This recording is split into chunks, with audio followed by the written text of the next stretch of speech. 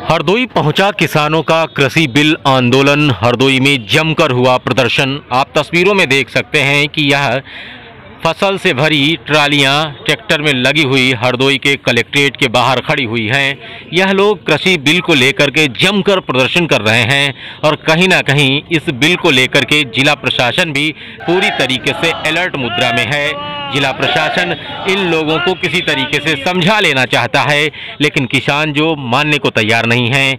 आप तस्वीरों में देख सकते हैं कि यह किसान लगातार हरदोई में कृषि बिल को लेकर प्रदर्शन कर रहे हैं और किसानों का प्रदर्शन हरदोई में भी अब उग्र रूप लेता चला जा रहा है।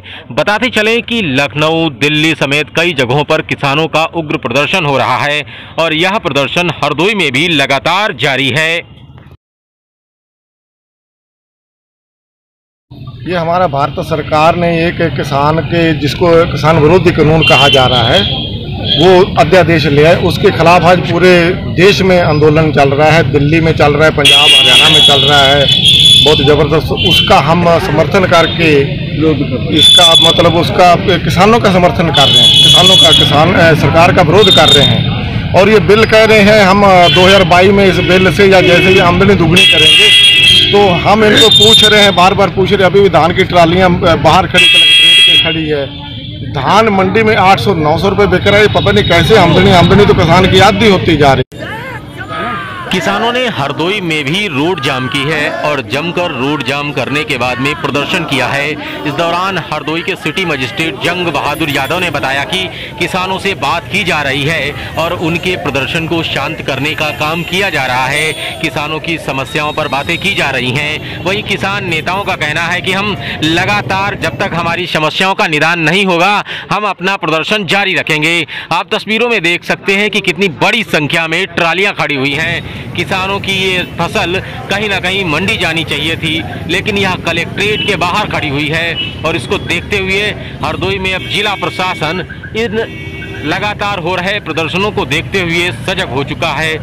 पूरी तरीके से चौकन्ना हो चुका है लेकिन किसानों का प्रदर्शन लगातार इसी तरीके से हरदोई में जारी है। सरकार किसान विरोधी बिल वापस लो।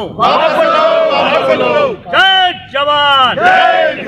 जय जवान। इस समय दिल्ली सरकार के साथ किसानों का जो माहौल है, पूरा हिंदुस्तान देख रहा है। सर, केंद्र सरकार द्वारा बनाए गए तीन विधेयक, उनका पूरे हिंदुस्तान का किसान विरोध कर रहा है। हमारे नेता ने उसी कड़ी में, चूँकि समय कोरोना काल है, उसका भी बचाव करना है। ट्रेन सेवा बाधित है, हम लोग दिल्ली नहीं पहुँच सकते, नहीं तो सारी भीड़ दिल्ली में होती। तो हमारे नेता का ये आदेश आदेश मिला कि जो जहाँ पर है वो वहीं उसी मोर्चे पर ये साबित करे कि हम उस लड़ाई में शामिल हैं। तो हम लोग उसी लड़ाई का एक अंग बन करके आज यहाँ सोल्जर बोर्ड चौराहे पर इकट्ठा हुए थे। रोड जाम किया था। हमारे नेता का कहना था कि नेशनल हाईवे कहीं कहीं उसी पर पंचायत की जाए। हमने वही करी। एक संकेत दिया, अपनी उपस्थिति दर्ज कराई है। बाकी कोई बहुत बड़ा भीड़ इसीलिए नहीं इकट्ठी की। कि किसान का इस समय काम भी है, बुआई चल रही है। बाकी इस मेन मंशा यही थी, उन विधेयक का विरोध करना। इसके अलावा धान की खरीद से हम लोग परेशान हैं। प्रशासन हमारा धान नहीं खरीद पा रहा है।